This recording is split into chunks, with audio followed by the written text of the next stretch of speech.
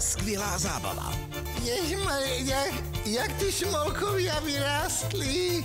No si hovorí, babi, to je avatar. Několik dobrých rad že keď chceš mať také zdravé, husté vlasy, e, máš piť veľa žihlavového čaju. A zpíváme spolu.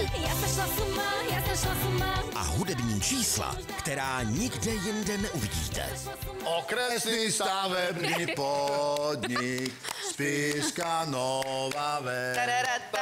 Tak chlapci, toto se stalo naposledy.